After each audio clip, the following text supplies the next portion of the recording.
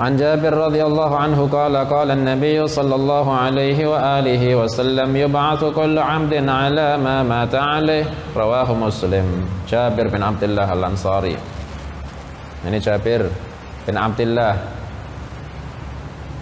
Al-Ansari As-Salami ya, As-Salami kalau ini kalau yang tadi Al-Aslami beda itu ternyata beda Al-Aslami sama As-Salami As-Sulami beda Jabir radhiyallahu anhu ini Jabir ketika beliau masuk Islam itu sebelum Nabi hijrah sallallahu alaihi wasallam ini Jabir ketika itu masih anak-anak.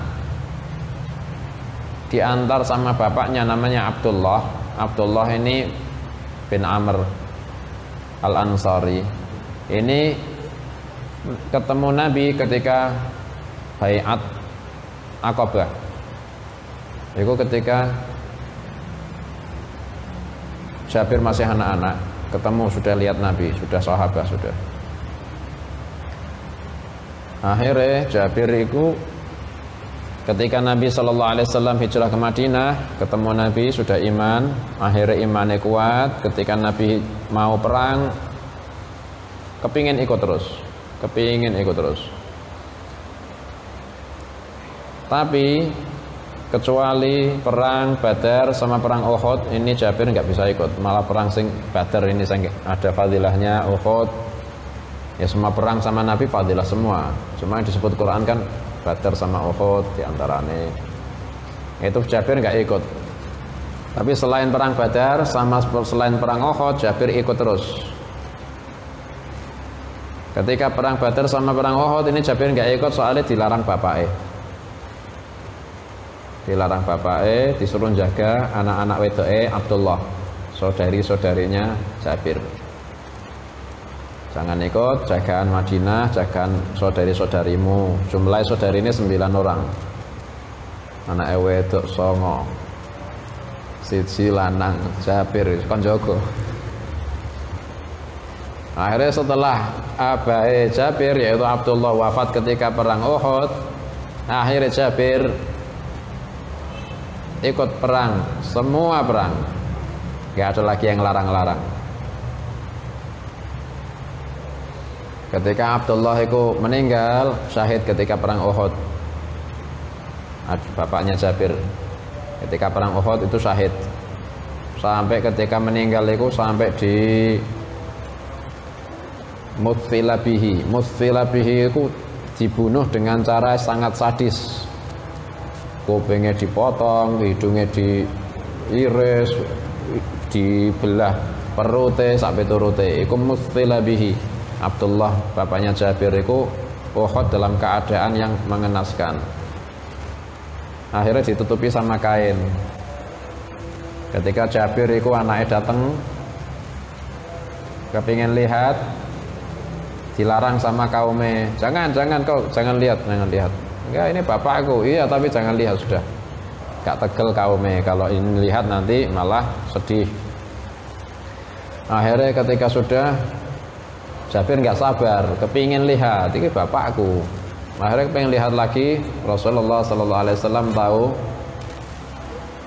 angkat jenazah ini, angkat siapa? Abdullah ini, akhirnya diangkat, akhirnya dikubur. Ketika sudah dikubur, Jabir nangis. Akhirnya ditemui sama Nabi Sallallahu Alaihi Wasallam, kenapa ya Jabir? Bapakku ya Rasulullah syahid. Kok nggak usah nangis wahai Jabir? Bapakmu itu itu di innallaha innallaha kallama abaka kifahan. Kau itu uh, bapakmu itu diajak omong sama Allah langsung? Biasanya Allah ketika ngajak ngomong itu di balik hijab atau ada utusan. Tapi bapakmu diajak omong itu kifahan langsung langsung. Tanpa tempat Allah tanpa tempat tanpa zat tanpa jihah yakni tanpa jihah wa laisa kamitslihi syai. Kemudian ditanya sama Allah tamanni alayya? Mintalah wahai Abdullah tak turuti. Ternyata bapakmu itu kata Rasulullah sallallahu alaihi wasallam Ya Allah, saya minta kembalikan saya ke dunia biar saya tak bisa terbunuh lagi karenamu ya Allah. Akhirnya dijawab sama Allah, Qad sabaqa alayya kitabun annahu ilaiha la yurja'un. Sudah tak tetapkan wahai Abdullah bahwa orang yang sudah melalui alam dunia nggak akan lagi kembali ke dunia. Permintaanmu yang itu saya nggak mau ngasih. Lah, siapa yang ngasih kabar mereka ya Allah? Kalau orang yang terbunuh karena itu nikmatnya seperti saya ini, ini siapa yang ngasih kabar? Kalau nggak tahu, mereka nanti kasihan. Nggak ada yang kepingin saya kayak saya syahid. Akhirnya saya akan menyampaikan sama orang-orang di belakangmu. Akhirnya turun ayat ولا تحسبن الذين قتلوا في سبيل الله أمواتا بل أحياء عند ربهم يرزقون فرحين بما آتاهم الله من فضله ويستبشرون بالذين لم يلحقوا بهم من خلفهم ألا خوف عليهم ولا هم يحزنون يستبشرون بنعمة من الله وفضل وأن الله لا يضيع أجر المحسنين akhirnya Allah yang menyampaikan itu jasane Abdullah bin Amr al-Ansari Nah, Jabir akhirnya nangis meneh Ya Rasulullah bapakku ini meninggal sudah nikmat. Tapi saya sing ngenes. Lah kenapa?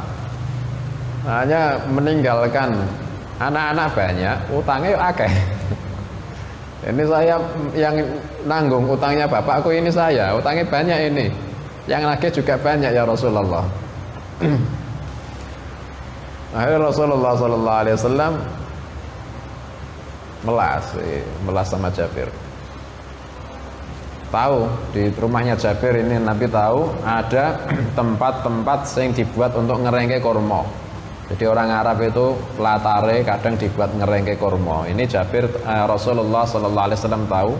Akhirnya Nabi Sallallahu Alaihi Wasallam menyuruh Jabir tempat yang buat ngerengke korma itu kasihan korma sebaran korma di masing-masing di semua apa tempat-tempat yang buat ngeringke korma taruhan korma korma.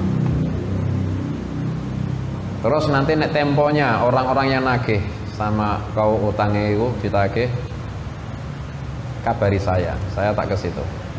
Akhirnya dikabari sama Jabir ya Rasulullah ini mau datang.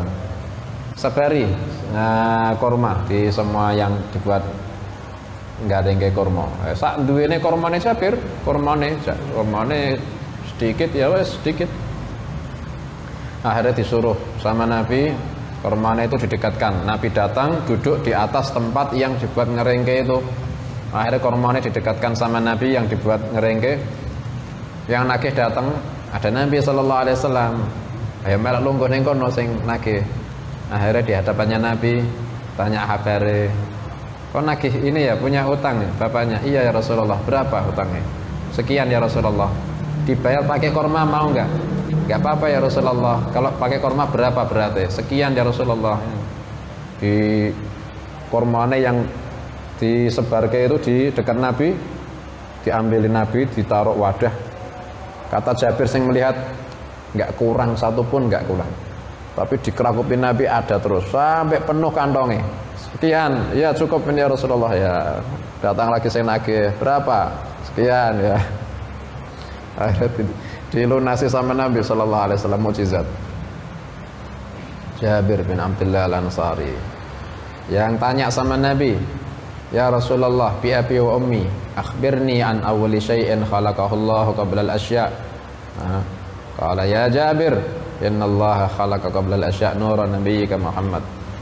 Sallallahu alaihi wasallam min nurih Jabir radhiyallahu anhu qala qala an-nabiy sallallahu alaihi wa alihi wasallam yab'atsu kullu 'abdin ditangekake. kullu 'abdin sapa saben-saben kawula ala ma mata.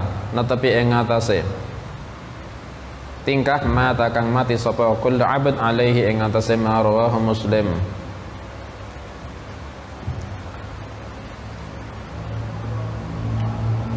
Nabi Shallallahu Alaihi Wasallam bersabda orang semuanya nanti akan dibangkitkan keadaannya seperti yang dulu ketika dia mati. Dulu ada sahabat itu meninggal ketika setelah pakai pakaian ihram. Terus dia di dalam bagian ihrame mau haji itu dia didupak sama ontone. Akhirnya jatuh mati. Kata Nabi Shallallahu Alaihi Wasallam ini jenazah jangan ditutupi kain kepalanya jangan tutupi kain. Jangan dimandikan jangan dikasih minyak wangi. Jangan ditutupi kain di kepalanya. Innahu yub'atsu yaumal qiyamati mulabbiyan. Ini akan dibangkitkan hari kiamat langsung talbiyah. Langsung labbaik Allahumma labbaik. Soalnya mati dalam keadaan ihram. Hari kiamat orang-orang dibangkit ke ada sing takut ada sing ini orang ini tadi sahabat dibangkit langsung labbaik Allahumma labbaik. Innahu yub'atsu mulabbiyan lah orang itu akan dibangkitkan seperti keadaan dia mati. Dan orang itu akan mati seperti keadaan dia biasanya hidup. Hobinya hidup apa? Ya sudah matinya seperti keadaan dia itu ketika hidup. Dan nanti ketika mati itu ya seperti keadaan hidup. Ketika hari kiamat dibangkitkan keadaannya seperti ketika mati. Ada orang hobinya sholat wala sholat qabliyah ba'diyah duha witir tasbih awabin hobinya sholat ya mati ini dalam keadaan sekitar sholat entah di dalam sholat entah Arab sholat, entah ba'da sholat, pokok pengennya sholat. Oh, sholat. Hobinya PS. Ya mati yo Arab mangkat PS, tah setelah dolanan PS, tane ngarepen PS. Ya matan nas ala ma alaih wa yub'atsu ala ma mata alaih. Itu hobi, hati-hati sama hobi. Nah, hobinya Quran ya sudah entah ketika Quran entah mau baca Quran entah ba'da baca Quran sekitar itu